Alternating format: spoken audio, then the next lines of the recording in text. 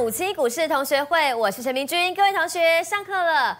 全球股市啊，又被老鹰给灼伤了吗？美国的联准会又释出鹰派的讯号，冲击科技股的纳斯达克指数跟费半昨天都重挫超过了百分之三，这跌得很重哎。那台股电子族群呢，今天当然也就大跳水啦，指数呢一度大跌超过了两百四十点，但是中场台积电又开始救援了，尾盘急拉也带动指数呢跌幅收敛。只是台北股市今天失守了五日线的关卡，那么短线的防守点到底该怎么抓呢？有没有什么不好的讯号出现了呢？还是说不用担心呢？马上欢迎今天来同学会的三位来宾，第一位欢迎分析师王兆丽，兆丽老师午安。明君好，各位同学好。第二位欢迎分析师连前文阿文赛好。明君好，各位同学大家好。第三位欢迎分析师邓尚维邓老师好。明君同学们大家午安。好，Fed 的音浪太强吗？台股呢也被晃到地上去了，尤其是台积电，台积电拉回两天五日线呢，有一点点危险。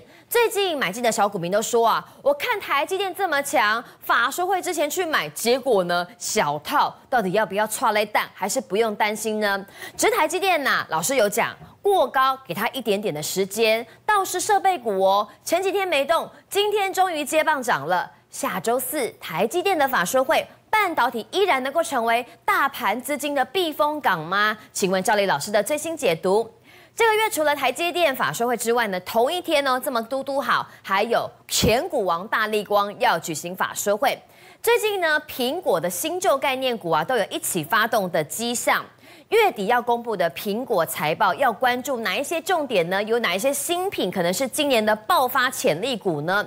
新旧瓶盖股谁今年机会比较大？请问阿文塞的最新解读喽。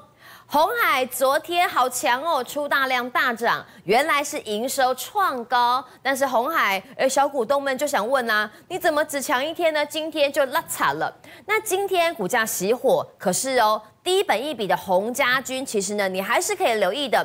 哪一些个股可以买，守株待兔就能够得到报酬吗？邓老师从筹码跟技术面呢，帮大家好好的来挑标的。关怀锁定五七股市同学会。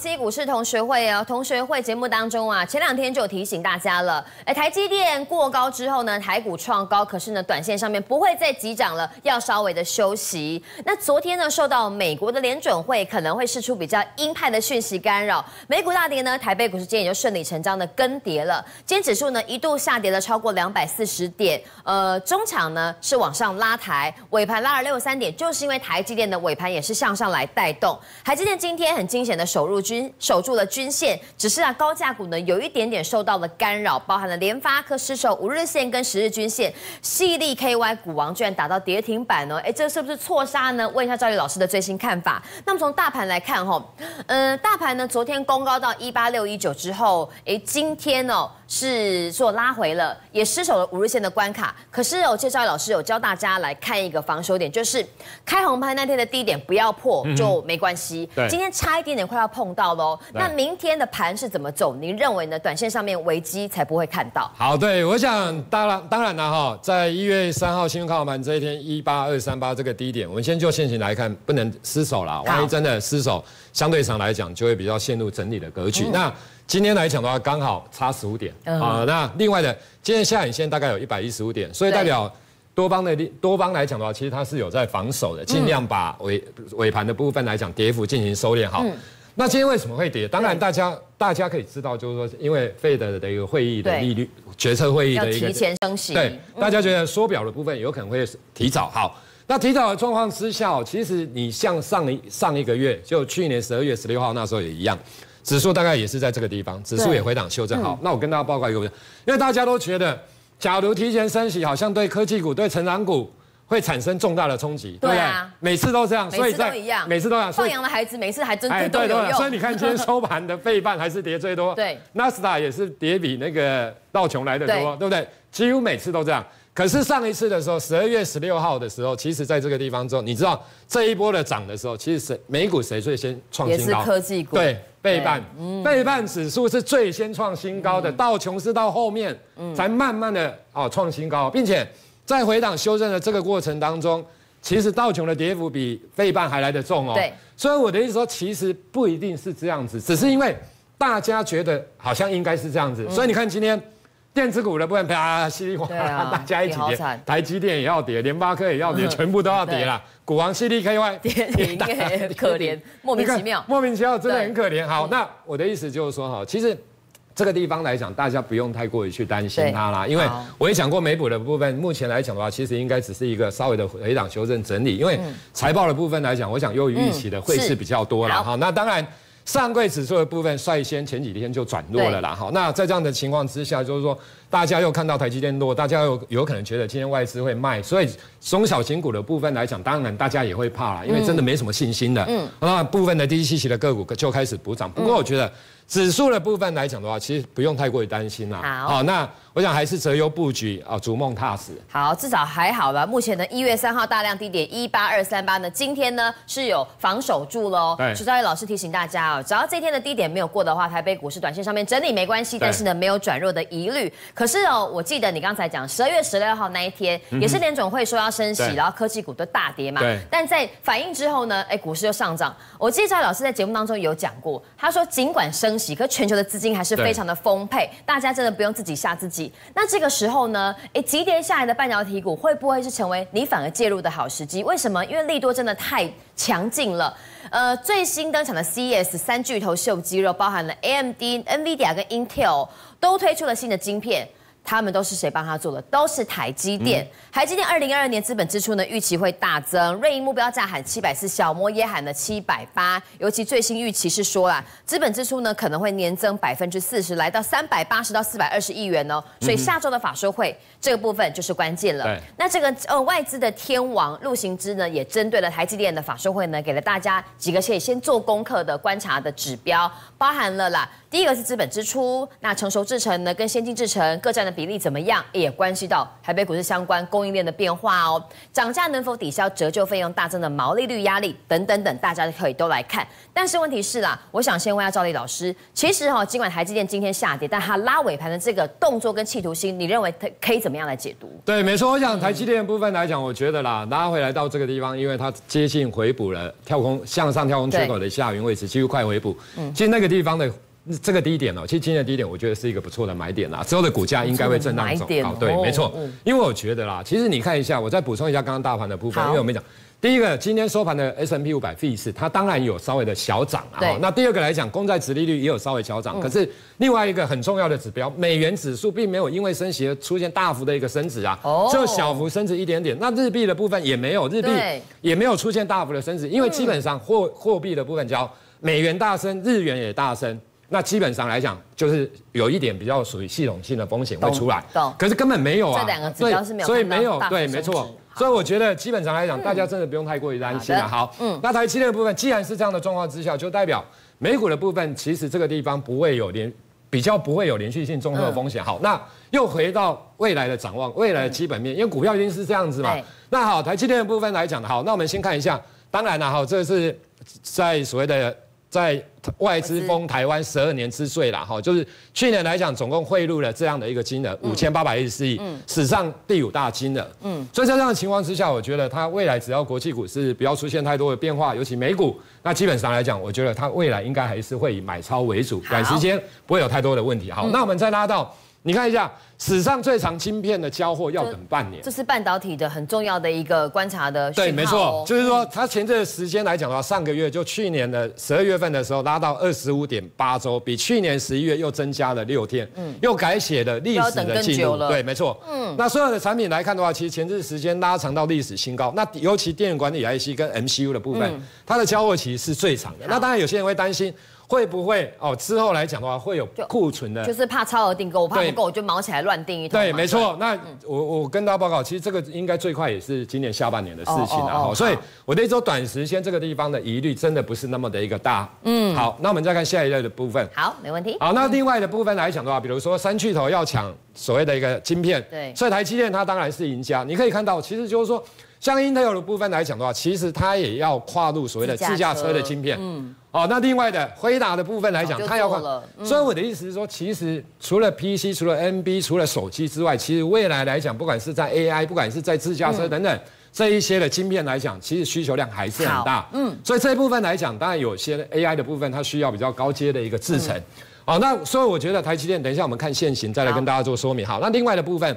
其实 CES 展里面，高通跟联发科，其实说真的，在今天还没在今天还没收盘之前，美股啦，在早盘的时候，指数都还没有这样子的时候，其实。高通的股价是创下历史新高，哎，真的哦。对啊，高通的股价是创历史新高啊，才后来才拉回。对，后来才因为大盘真的整个。那 Intel 的股价其实也涨蛮多的啦，只是说收盘真的涨幅都出现收敛的一个现象。好，那高通角是这样的，它当然要跨入所谓自动驾驶的一个部分。那当然联发科的部分来讲，它也不是省油的灯啊，它也要跨入所谓的车用的一个部分。所以我觉得联发科相对上来讲也是蛮有机会。那这个就是刚刚所提到的，其实他认为不管 PC、NB 等等，就是说。以目前来讲的话，假如 PCNB 也相对上来讲有换机潮的话，嗯，那再加上手机或者是再加上这一些 AI 啦、自驾车的一个部分的晶片来讲，我想短时间确实，在所谓半导体的这一块来讲，并不是那么的一个悲观，反而是。正面的啦，好，这么多的正面讯息，包含了这些巨头呢要来推车用晶片之外，还有这个相关的高通、联发科的 PK 战，IC 设计族群呢，大家可以留意。而这些厂商除了做车用晶片，原本的老就是自己原本最强悍、最强劲的这个呃本业 CPU 的这个换机潮呢，大家也可以来做留意了。但台积电呢，先创高之后，其实赵毅老师有说啊，急涨之后它会稍微的整理，所以大家可以耐心等时间。不过呢，刚才一头拉股半导体的这个相关，不管是缺货啊，或交货期拉长了利多的话，哪一些个股您认为呢？有机会有接棒的态势？好，对，没错。我想这个图表之前大家都看过，我一直跟大家讲哦，今年的成长率真的是趋缓的。好，那我们来看一下台积电好了。好，台积电我个人觉得啦，好，二三三零的台积电，我们看一下，其实它当然今天来讲的话，几乎快回补缺口。那其实今天也蛮强的，尾盘也拉了不少哈。嗯，那只跌六块钱的一个水准，我觉得啦。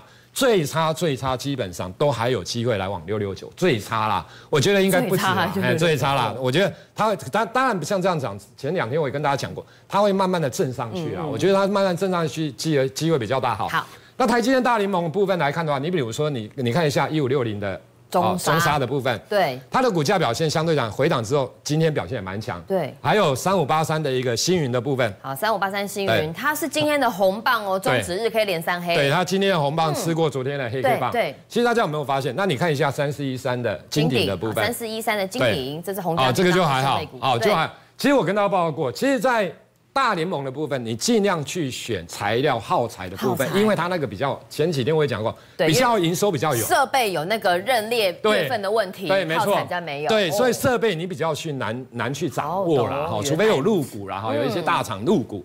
那机体的部分来讲的话，其实当然就立即起来是优于标准型的部分啦。嗯，好，那 IC 设计的部分好来。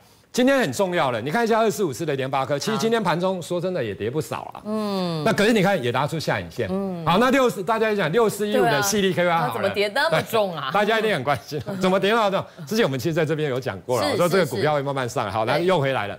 好，又回来之后，我们看一下，我要跟大家讲，好，你比如说在二四三六的一个尾权店的部分，二四三六尾权店，等一下。我们看一下，今天拉红棒，还有六一零四的创维创维的部分。嗯，今天的股价来讲的话，其实也算相对上来讲比较强。好，我要跟大家讲的意思是，就是说，其实 IC 设计这一块来讲的话，它慢慢的会是个别股表现为主。那什么样的族群比较有机会？就是电源还是一样，电源管理 IC 跟 MCU。那六四一五当然细粒，它因为它的本益比比较高。对，当然。大盘的大家比较有风险意识的时候，其实说真的啦，大家比较容易砍一些。高本益比的股票，所以这时候低本益比的相关 ICC 族群就可以有机会。对，没错啊，你就选择电源管理 IC 跟 MCU 这一块，我想相对上来讲。会比较好的。好，那另外一个族群呢，我们昨天有来追踪，那就是 Mini LED 啦。因为呢，苹果要在这个月的月底呢，公布最新的财报。那最近苹果的新闻也很多，包含大家认为说它的 iPhone 的数销售数字呢，会比预期还要好。明年呢，还有 MRAR 元宇宙相关的应用。我想问一下赵丽老师哦，呃，新的瓶盖股跟旧的瓶盖股啊，其实旧瓶盖股就是包含了镜头厂嘛，最近股价有开始表现。那新的瓶盖股呢，Mini LED 呢，哎，其实呢，最近的涨势也都还算不错。新旧瓶盖股，你认为都有机会吗？还是说找爆发力比较大的，其实更有长相？对，我觉得当然啦。假如说以 iPhone 来讲的话，其实镜头这一块，因为他们真的是股价跌很多了啦。那因为镜镜头的一个升级，在今年基本上来讲，我觉得这些股票也会慢慢出现震荡走高的一个态势，这个基本上不会有太多的问题。好，那讲就新的来讲，mini 的部分它还是比较属于新的，因为去年才开始陆续的推出。那不止 Apple，其实另外的部分来讲的话，你比如说像 TCL 啦，好，另外的很多像三送啊，甚至于其他的很多的厂商都会推出很多的产品。那另外一个来讲的话，三星它要推 mini LED，哦，那。另外一个很重要的就是说，其实它是跟元宇宙有关的啦。假如说你真的硬硬要大家把它归类为元宇宙，网通也可以元宇宙，什么东西都可以元宇宙。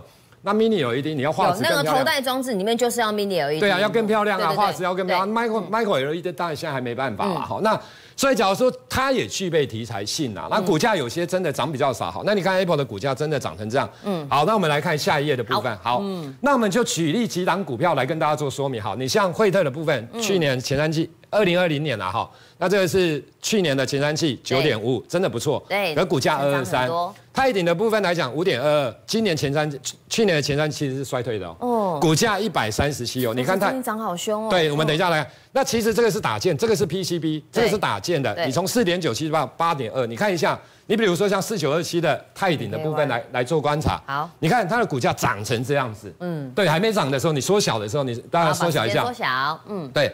在之前还没涨的时候整理，整理完之后，你看上来之后涨成这样子，它的 EPS 前去年加衰退。那六二七八的台表科的部分，你看一下。六二七八，好，对不对？它你把它缩小，它的股价来讲的话，也整理了很久。其实我跟大家报告，这种你不觉得？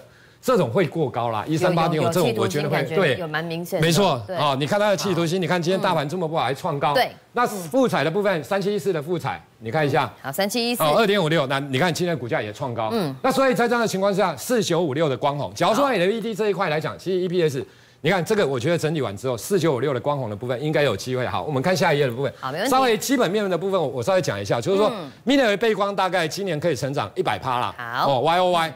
那当然就台表科的部分，就 mini 哦，加所谓的电动车的一个部分，拿它来跟泰鼎比较，我觉得它的股价真的被低估。委屈啊，委屈。对，没错。那富彩的部分来讲的话，当然它收为红光 LED 等等啊，哈。那今年第二季来讲的话，有可能新产能会开出来。嗯。那光红的部分来讲的话，它是也是一样，mini LED 再加光感测。光感测其实有一档股票很强，就是光磊。对。那三四年光磊真的涨半天了，你知道吗？嗯。好，那当然它有第三代半导体，可是光红的部分来讲的话，其实它也有光感测，跟所谓的 mini LED 部的部分，IR 红光感测啦，车用啦。所以我觉得这种股票没涨。应该也会有比较的一个，所以就是说呢，在刚才表格里面看，mini LED 有很多的族群呢都有介入，但在泰鼎呢当领头羊创高之后呢，本益比稍微高，反而可以留意一样 mini LED 题材切进了包含的这个电视啊跟电动车相关领域的这些个股呢，大家就可以做关注了。若说你对操作今年的瓶盖股当中 mini LED 的爆发力有任何兴趣或想法的话，欢迎参考画面上面我们赵丽老师的大头娃娃，跟他加个 like，把的持股问题跟他请教还要讨论喽。广华我们聊一下就是瓶盖股的部分了，苹果那在这个月的月底要来公布财报，其实市场上面呢，现在对这财报的解读都是比较乐观的，也难怪苹果股价最近会在美股动荡当中逆势来创高。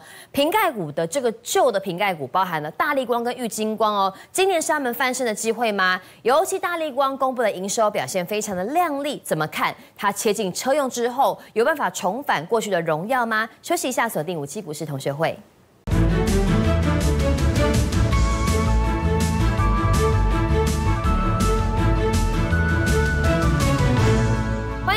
五七股市同学会哦，一月二十八号很重要，我们台股市已经封关了啦。可是哦，美股里面有一档个股要来公布财报，那就是苹果啦。苹果财报关注六大议题，包含了 iPhone 十三销售量、今年新机的进展、手机营运展望、供应链缺料问题，还有半导体晶片设计 and 元宇宙这六大焦点呢，大家都要高度来关注。那首先来讲到今年 iPhone 哦，那苹果大家关注两个很大很重要的产品，一个是 iPhone。上半年传出会推平价五 G 版，下半年的四款 iPhone 十四，而且高阶款会升级 A 十六处理器。另外一个就是呢，哇，这个呼声很高的 AR 头戴装置。郭明奇分析师说，今年第四季就会推出来了，搭配两颗处理器可以独立运作，而且呢，里面有三个荧幕，两块 Micro OLED 跟一块 M OLED，郁金光社会程度很深，优势会赢好几年。那在旧的瓶盖股当中，最近有一档个股哦，其实呢表现非常亮丽，从低档慢慢的涨上来，那就是前股王大力光，十二月份营收啊，月增百分之三点四，创下十一个月的新高。下个礼拜四是法说会，大家要看什么？不只是看 iPhone 的状况，还要看它有没有来切进车用。用啦。我想问一下阿文三哈，这个哈过去的呃光学镜头厂哦。跟着苹果吃香喝辣，可是呢，因为大陆的竞争者进来之后呢，他们就受到一点的压抑。现在有了 AR 头戴装置跟车用的这个应用之后，我们的镜头光学厂优势，您认为还可以期待吗？对，嗯，那这个大地光公布营收，对不对？好，过去这个林恩平一般来讲的话，他是做产的哈，不太会讲话。你说你问他一、一、二。二，哎，他不会多多讲话，哎哎，既然的话，营收公布之后，今天的《今日报》发现林恩扁表示，林恩表示，哎，表示很多东西，我们都觉得哦，哎，真的是很有意义哦。我们来看下一页的部分哈，没问题。我想第一个的话哈，他讲就说哈，八批越来越多，嗯，八批的订单越来越多，这代表什么意思哦？P 加 plastic 的话是塑胶，对，是八个塑胶镜片叠的哈。八 P 比七 P 的单价多四十八，嗯，那利润就很高，因为八 P 的解析度更高，嗯，它的它的广角就是它的旁边那个角哈，比较不会就是失真，嗯，好，还有一个重点就是视角会比较广，嗯，所以八 P 比七 P，所以他第一个他讲过说，哎，八 P 越来越多，哎，他从来不讲话，八 P 越来越多，那八 P 的价格比七 P 多四十八，哎，那利润就很高了，对，好，嗯，第二个他昨天讲过说，哈。今年有几个技术的话，诶，会带动这个这个所谓的这个单价的提高。好，第一个的话，这个叫 flare 的话是吼解解杂闪光是什么意思？嗯，一般照相照哈，比如说诶，有些霓虹霓虹灯，嗯，好，这两个字你一照你跨不啦，就是糊糊在一起啦，你跨不啦，开灯糊在一起，这个明明是明君呐，哎，啊怎么你看成照例？照例跟明君那补啥啥对不对？好。那你假设有这个解杂闪光这个技术，Hiroki 哦，明君啊，不是赵丽，我还以为看错了啊，把就会给你了。嗯，所以你有这个解杂闪光之后的话，这 Hiroki 不傻傻，拢比中清楚。嗯，哦，这叫解杂闪光。嗯，那这个技术的话，那当然单价就提高了啊。对，好。再来这个去刘海，大家知道了哦，因为你那个本来有一个刘海嘛，啊镜头在上面，红外线的镜头在上面，那你现在变成玻璃了，只是一个小小的打孔而已。那这些所谓的这个人脸辨识的镜头都在下面，啊你上面是玻璃，啊你又是玻璃，啊穿透力就有问题，所以你下面这个东西要改成塑胶镜头。嗯，那那塑胶镜头要找谁？大力光、液晶光了啊。对对对。所以这个订单又来。好。第三个叫做双自由曲面的镜头，他说今年还有这个镜头，嗯，这个镜头说有些人照的时候歪歪，哇，这双子星的话这样歪起，这样歪起啊，这边来歪起，一般的照射的话，常常远远的照射吼都会歪掉，对，因为旁边两边很容易会失真啦，对对对，但是如果我有这个所谓的双自由曲面镜头。镜头的话，哎，你有没有知道？垂直垂直垂直垂直哎？整个的照相的效果就不会失 perfect 完美所以你要站旁边人就不会被拉大啊。对啊，你看，你看，你这个双自由曲面 你没有这个镜头，你就会这样。对，所以他昨天表示说，今年八 P 的订单非常多，而且重点的话是这个解杂光的技术、去刘海的这个东西，还有双自由曲面，这三个是今年很大，就这个利润很高哦。嗯，而且你想想看哦，以前我们有个观念就说哦。哎，他不做所谓的玻璃镜头。有一段时间，他说他不做玻璃镜头，因为他觉得玻璃镜头利润很低，而且玻璃镜头要取得这个所谓的认证很难，因为这个玻璃可能你在北极用，嗯，要耐寒，懂？你有可能是在非洲，你要耐热，沙拉大沙漠，它是耐热，高度要跟温度差很多，所以你要做玻璃镜头很难，而且重点的话是。要获认证时间很长，嗯，所以他那时候觉得那个利润的话不太高，因为他的利润是七十趴，嗯，那那我做那个他的利润只有剩下六十趴，所以他不做玻璃。但是问题他获得 Tesla 的认证，哎，Tesla 是车用的呢，所以 Tesla 是玻璃的呢。他既然获得认证，就讲一点点加沙工，有有在布局，你讲以模做玻璃。但他获得认证，嗯，表示他有做玻璃，嗯，而且一台有八颗。你想想看，特斯拉现在是五十万辆，今现在现在已经冲到九十三，要挑战两百万辆。昨天阿文赛有讲，对，现在一般是一百五十四万辆，有可能到两百万辆。如果一台用它的镜头，一台是八颗的话，吓死人了！那订单有多少？所以你看它的投资金额以前都是三十亿、四十亿，这拍十八亿。嗯，为什么不投资三十亿呢？为什么不像以前投资四十一亿、四十七亿呢？为什么昨天他讲我有三座厂，我要投资三百亿？未来订单太多了啦，嗯，所以这个所谓的 ES 三号的法说会的话，就值得期待。好，因为他所讲的东西的话，哦，你会发现这都新的技术，而且利润都非常高。嗯，那易金光这个的话，主要是这个郭明启所讲的。郭明启说，哦，他已经追过阳明光，哈，这个叫 pancake，这个 pancake 是个饼干呐，哦，这个饼，但是不是哦，它是透镜的，哈。那英文这个饼干透镜，哦，这个良率。这个比他强，所以他取得苹果还有 Meta 好吧？这个面摊，我阳春面、牛肉面都有哦。好，你看一看，还有 Sony 哈，所有的透视的订单都拿到。所以光明启说，易激光受惠最多，因为苹果的量很大，嗯，Meta 的量很大，Sony 的量很大，易激光全部吃的话，所以我们昨天有讲，它从十八块到二十五块，这刚开始而已哦，这只是刚开始而已哦。而后这些量越来越大的时候的话。那个获利的爆发性的话就会更高。好，那讲到玉金光，我说不得不给他按一个赞哈。这两天大盘拉回，可是它就是比大盘强。对对对，你看哦，这几天都在跌。我们在讲玉金光哦，你可以发现，咱们可以高科，咱们可以窄科，哎，现在又涨十三块、十二块哈，哎，按你 key 的位吼，哎。登高必自卑，行远必自耳。你可以发现哦，安利 key 嘛，要个 key 七八块哦，嘛 key 没救了哈。所以慢慢 key 也是步入外太空哈的股价。所以我们讲易经光的话，哎，股价表现真的很好。我说今年的话是镜头否极泰来的一年哈，而且获利从十八块变成二十五块，跌到那么低的，而且外资三大法人一直买，拼命买，外资连买一直买一直买，所以已经看起来吼有一点小，但实际上买了三千六百二十四张哦，你会觉得。啊，这个柱状图没有像这么大，没有人家这样的话买了三千六百二十张，哎，马没救啊，哎，哎，每天跌两百点，跌多少？今天一百三十六点，盘中跌两百点。还能够买三千六百二十四张，不错，所以这个是高角度的一个整理。嗯，所以我们认为五百四到六百块这这这个区间做一个震荡哈。那原则上还是一个攻坚的架构。那我认为它目标的话，六百块这边的话，可压力会比较大，但至少突破六百的机会是非常高的。好，这个是哦，瓶盖股当中呢，旧瓶盖股包含了玉金光跟大力光今年利基点的观察哦。另外一个族群呢，阿文赛也追踪很久的，那就是 ABF 窄板。其实 A B F 窄板呢，从去年哈一路涨到现在了，外资在今年依然是非常的看好。尽管说呢，股价稍作拉回，但是我想问阿文塞哦，很多人呢很想操作 A B F 窄板，拉回真的就是可以勇敢的买吗？不不，这这行情应该是在讲哦，台积电拉尾盘啊，那只是垫高指数本来跌两百零二点，变成一百三十六点，所以那个不需要去做一个反弹的这个动作，就说啊那，但是如果 A B F 窄板反弹了，如果台积电、联发科开始反弹，对，那就是可以买，因为他们基本面很强，而且外资一直看好，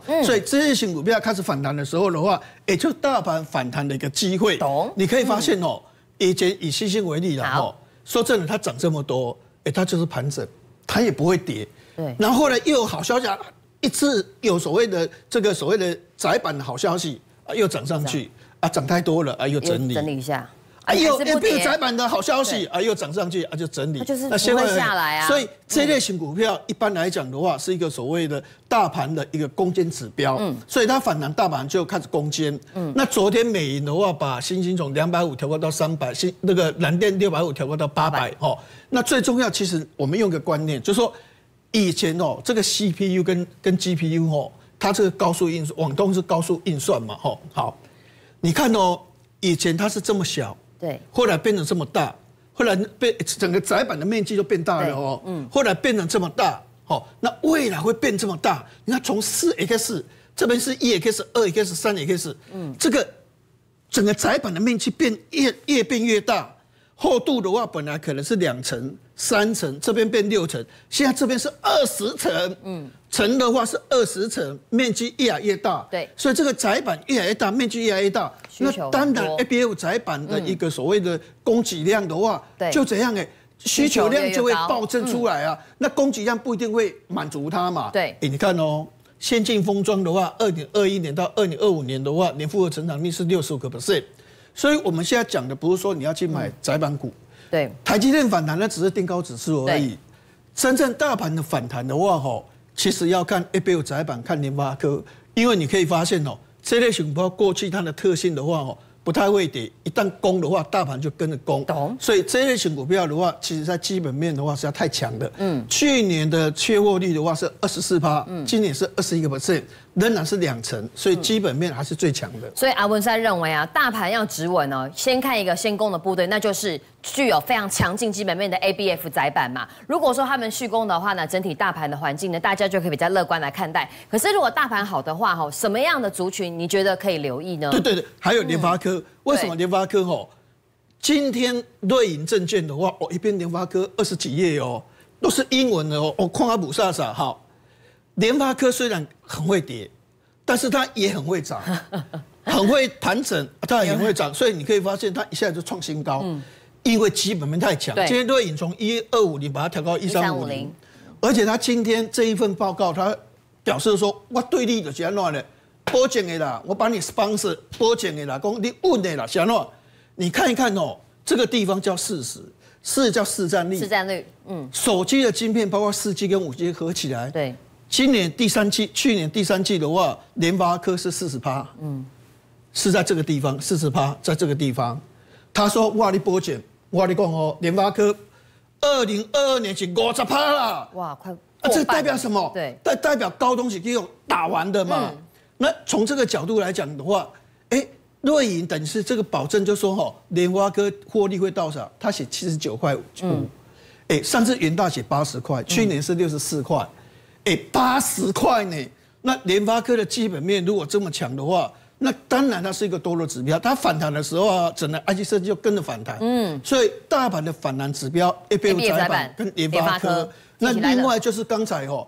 哎，照例讲，我们也要跟着他讲啊。对对对，LED 太火热了。照例研究基本面非常透彻啊，好，所以我们要跟着他的脚步。你看，Mini LED 的 TV，你看哦，对，二零二一年的话是两百万台，今年是八百七十万台，这我这不？这好，明年一千七百万台，所以未来的 Mini 有一定的需求量的话，哈。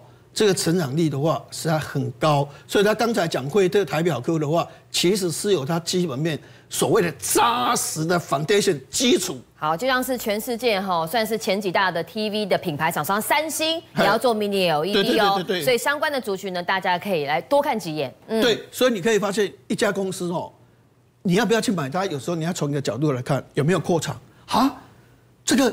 大地光本来投资都是三十亿、四十亿，现在是三百亿，哦，那就表示说他可能有订单，有订单，他敢这样拼。对，那这个公司的话，第四季哦扩增三四成，对，那还要继续扩增哦。那你可以看它的获利从十三点二变十八点八，嗯，所以我们认为这一类型股票惠特的话，哦，它股价虽然会整理。但是即使跌的时候，你会发现它也是小跌，也是稳定。好，所以原则上我是觉得这类型股票的话，其实还是攻坚指标。好，那下档个股来追踪的是双红的话是双红，元泰的话，元大元大证券的话有给他一份报告的话，是看的比较好，是说哈，未来这个所谓的这个 server 伺服器的单价的话哈，因为它的耗电量的话是三百五十瓦，嗯，所以它的散热会比较大一点，哦，所以单价就提高十五。到二十个 percent 获利可能就会比较好，而且哈，三星本来哈，他们用的是所谓的这个那个导导热管那一种的，现在改成板。子，好改，啊那单价就高出很多啊。那获利的话大概是三块十四块，但那本利比从十一倍把它调高到十七倍了哈，所以我觉得今天。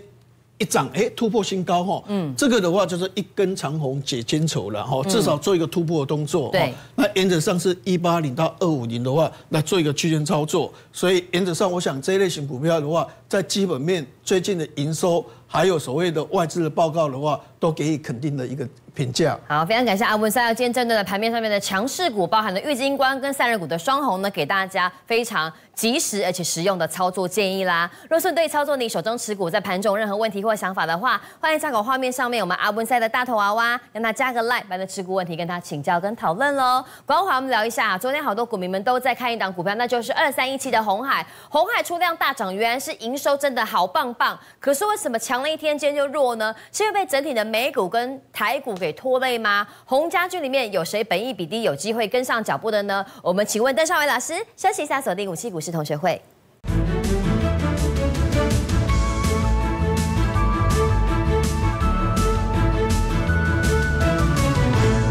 欢迎回来，五七股市同学会哦，昨天呢，红海啊，这个平地一声雷，让好多的股民们都醒了。是，可是为什么只开心一天，今天就跌了呢？到底有没有关系呢？等下问邓老师，为什么红海昨天那么强哦？可能是哦，先反映财报的利多。红海公布去年营收居然哦创下了史上新高，去年赚呃去年营收五点九三兆元，年增百分之十，四服器部门是最赚的。一月二十三号哦，郭董要来举行这个红海嘉年华了，哎，新的今年的布局呢，大家就要多所留意了。外资终于终结连四买，昨天买了红海七千七百六十三张，这是好的开始吗？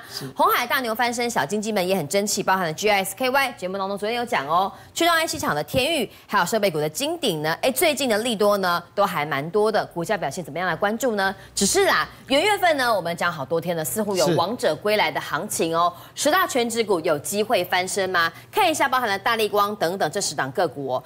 今年的的买卖超，哎，其实包含了台积、南电、国巨、台达电、中珠 KY、丰泰、日月光，呃，这个法人都站在买方是比较多的。那红海目前呢是小卖一百五十七张，但是我问邓老师，你有没有觉得很快法人就会把红海给买回来？那今天跌有没有关系？今天跌是没有关系的哦。为什么？昨天我特别提到红海昨天爆出十四万张的大量。对。那么在之前的低点，我们看到。看一下这边，二三一七红海。我说之前的低点在九十六块半跟一百零六点五那根 K 线，对，就是出现了大量。嗯，所以昨天这个大量出来，就告诉你，哎，我要去挑战那个地方，而且我要去测试之前跌下那个大量区能不能转换成一个强力的支撑。哦，缩小一点点，这边这一根啊，对，九十六块半这一根这个大量。对，所以我说它这个意思就告诉我的量已经。来到这个位置喽，嗯，所以我昨天说，红海拉回来就是测一百零六点五，只要能够立守在那里就 safe。嗯，所以各位看，今天红海呢收盘收一零七，盘中一度跌两百点，它最低来到一零六，那算非常漂亮。嗯，而且均线就纠结在这附近。嗯，好，包括我们也可以看台积电。好，二三三零的台积电。对，我们把。放大一点，所以老师昨天有说，他那个六六八就是他今年去年出的压力。我一样啊，不是放大放大，对对对，ring in ring in，对。好，为什么说当时我说台积电它这个六六八二月份的高点不容易过，就是因为那个成交量还差很多。对，它当时就七万多张，可是那个地方六六八是有十万张以上，十万张。对。所以这一天大涨的这一天，我就提示各位，哎，上来六六八是不容易站稳的哦，你不要乱追，因为量会告诉你。那同样的道理。六六九杀到这个地方，昨天我还特别提示，大概要买要回到缺口六三五上下。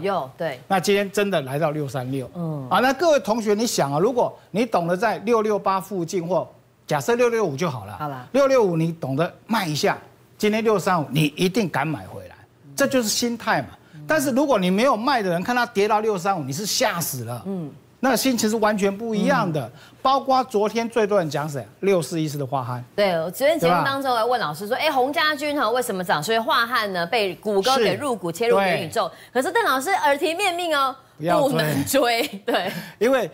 昨天涨停板，大家一定觉得好奇怪，因为明君有问我说，昨天涨停板打开在所，冲那个大量。对，我说是不是要冲大量？我说不是，高档爆大量是要不能追，不能追。今天直接杀下来，嗯，所以同学们很幸福，因为我们就早一天告诉你。要做的动作，嗯，那现在怎么办呢？你说今天台积电也拉回，对，我觉得很漂亮。为什么？第一个缺口碰一下，没有封闭，嗯，各位记住，缺口是六四四跟六三二，今天低点是六三五，所以缺口没有封闭，嗯，那刚好来碰五日线，就像大盘是碰五日线上下，对，你说哎，大盘失守五日线，可是台积电五日线有力守哦，有守住，哦，那这一波是是谁带上来？就台积电啊，对。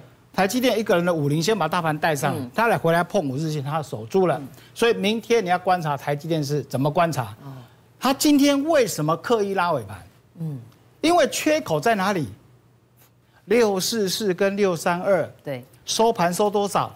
六四四。我告诉你，真的很会控盘啊。嗯，故意就故意收在六四四。那如果明天能够在直接开在六四四以上，就告诉你说我修正完毕。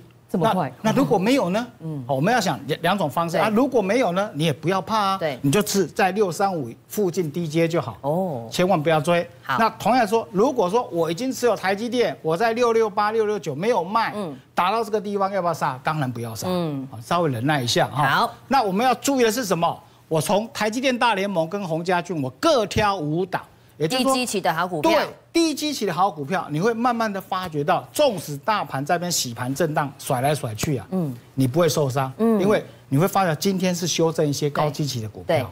包括你看到的什么股王 CDKY 为什么大跌？对，其实那个都位阶很高，每一笔也很高。对，所以从这些来看啊，各位可以先把它造起来。好，这个台积电呢休息之后哦，哎，今天反倒有一些设备股要开始跳出来表态喽。但设备股也不是全部都能追，邓老师有精挑细选的，有一些低基期的，本一笔相对低的买起来啊。现在大盘在高档，大家最希望不是大赚钱，而是不要受伤，能够稳住哦，顶住风浪。所以说呢，如果说你对操作包含了台积电大联盟呢，跟洪家军有任何的问题或想法的话，欢迎。参考画面上面，我们邓老师的大头娃娃哦，跟他加个 like，不然持股问题跟他请教，老师的资料你会在里面跟大家来提供跟分享。好，是这十档个股，我们各挑的五档，我们一档一档来看好不好？嗯，好，各位看一下，这是六一八七的万今天好强哦。那为什么今天好强？明明大盘就一度跌两百点，啊，你看啊，我底打出来，我指标就是这么清楚的交叉给你看，这叫周 K。好，那这个 MACD 是柱状体已经由黑翻红，对，对不对？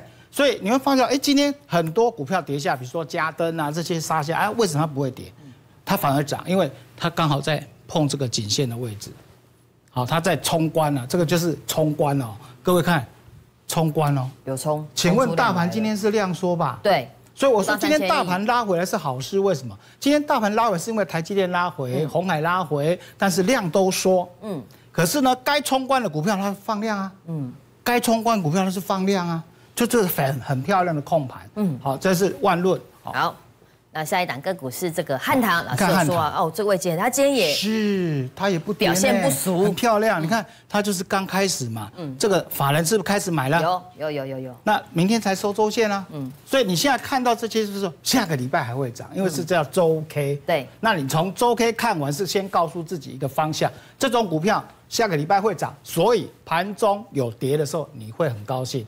比如说今天大盘在重挫两百点的时候，这些股票都曾经在盘下，那你就买啊，因为你看的不是今天，你看是我下个礼拜周 K 告诉我下个礼拜它会涨，嗯，那你当然买黑不买红。我一直强调各位同学，找到标的不用急着追高，买黑不买红，因为。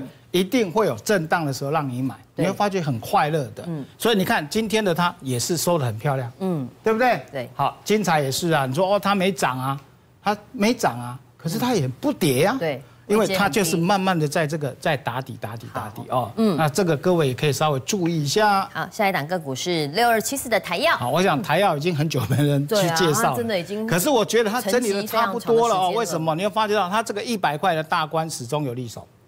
好，一百块的大关，所以你发觉到它每一次啊，在这一百块大关，对，也是刚好是季线的位置。对，好，一百块左右是季线的位置。嗯，那只是还没有发动。嗯，可是如果你觉得说它的基本面也好，获利还不错，嗯，基期也低，嗯，那你可以布局。嗯，啊，布局不是说我我今天买今天就要涨，不是，买了之后它未来一个礼拜、两个礼拜会涨。就像当时我在讲化汉的时候，二二一。对。那你经过了一个礼拜多，它到了昨天两百七十几，我说不要追了。那你有五十块以上的空间，你就放口袋了。嗯，那再找下一档准备起涨的。嗯，所以六二七四台药也可以注意一下。这不股票哦，不是追来的，是用布局来的，大家要记得了。在位置比较低的时候布局呢，受伤的程度是相对比较小的哈。下档个股是六二二三的旺系。对，我想这档股票也是很久了，没有人注意了。但是下个礼拜它就有机会，嗯，好，因为明天就收周线了，所以我觉得下个礼拜它就有机会比较明显的由黑翻红的动作。老师是同族群呢做探针的嘛，对不对？今天有一档个股中探针表现就很强，是不是有一点在为旺西铺路的味道？有机会哦，尤其你说很多股票已经冲到很高的位阶，那你再去算一下它本益比高不高？对，那你反而去注意说，哎，这个本益比其实低低的，但是还没动，它就会轮着动。所以呢。就会注意一下，我觉得六二三旺系也差不多，下礼拜会动了哦。下个礼拜会动。好，那至于很多股民们关心的红海跟洪家军哦，昨天邓老师也特别点出来好几档。洪家军当中呢，哎，位阶高的，比如说像华汉哦，涨上去的高档爆大量，你就真的不要碰了。不要追。很多位阶低的哦，其实呢，哎，业绩很好的，有基本面撑腰的，还是可以留意。是的，你像 GS，它前三季就赚。九点一五，那今年赚十二块不难吧？它才一百多，块一点点。对，等一比真的很低啊。所以你发觉它它是很漂亮，今天哎又来了，量出来了哦，嗯，很漂亮，而且交叉了哦，嗯，所以它这个告诉你说，我短线也要涨嘛。对，今天量缩，可是这些洪家军的个股却是量这个都放。量，低基期的通通放量，而且它还有低本一比，嗯。嗯，所以 GS 也可以特别留意哈。好，下一档个股来看一下是真鼎 KY，真顶 KY 也是哦，嗯。你会发觉它这边一直在这里交叉过一次，这里又一次是在五十之在上，考验大家的耐性。那这些股票虽然比较磨人，但是已经到了末端了。嗯。嗯，也就是说，你最近来买，应该会很快享受到它的动。嗯，当然，你如果买在这里的人，对。买在这里的人，你会很痛苦。就像之前我在讲台积电，你如果去年一月、二月、三月买的都很痛苦。对，你只有高兴三天。对好，一月份呢高兴那三天，我还提示你六六八站不上去，因为量会告诉你。那这个呢也差不多快动了。当然说你喜欢稳健操作的布局是 OK 的。嗯嗯，好，我们往下看。啊，往下看呢，这一档是呃价位比较低，那这一档是不是很刺激的？很刺激昨天是不是华汉涨停？对，它也涨，它也涨停，可是我讲华汉不要追了。对。那我说它有机会很大，为什么？因为这里刚交叉，这里才刚上来，然后最主要是位阶很低。嗯，因为华汉就在这里啊，位阶很低呀、所以像这种股票是不是挑到了？那是不是利用买黑来买？嗯，各位可以看一下分时走势。好，我们看一下瑞金通的今天的分时走势。你会发觉好刺激，有没有？很多时间让你买。对啊，这次这样不是很快了吗？一，百零四到收盘一一一，这样七块呢。不要说你买一百零四，你买一百零五、一百零六，我告诉你，你今天是哎走路有风呢，走路有风呢，足欢喜的呢。哦，人都两百点，我买你家嗯哦。那这个就是你把股票挑出来。好，我们回到 K 线。挑好股票之后拉回就勇敢的买。好啊，你看 K 线是不是很漂亮？五日线连碰都没碰。对而且你看在所有均线上交叉交叉，开口向上。今天也是放量哎，这种情况是很可怕的哦。嗯，各位去回顾一下，很多股票在飙涨的时候都会这样。嗯，像我们之前介绍过的来宝，对，就是这样，啪一下子飙上去。那这种股票是不是很漂亮？嗯，好，而且量价配合的非常非常的漂好，亮。二三九的正威好价那另外正威，你看哦，它这个地方其实底型都已经出来了嘛，对这就很明显的哈。你如果光看这里，很明显就是一个 W 底了嘛。对，那你是不是买黑？利用它回来买就好。然后这个也交叉了，嗯嗯，这个也上去了，法人也连买一二三四五，连买五周。好，哦，所以这种股票可以好好的留意一一下。样从家军的好，红再来，，红准也是一样哦，下礼拜就交叉了。哎对，哦，下礼拜就交叉，快是明天啊。如果明天涨，它明天交叉了。但是如果明天还没涨，你不用怕，下礼拜交叉。嗯嗯，所以哎，明天来布局也是安全。而且红准的部分，其实呢，法人呢这三这三周是有在买的，有在买的哦，好，有在买哦。所以代表说，其实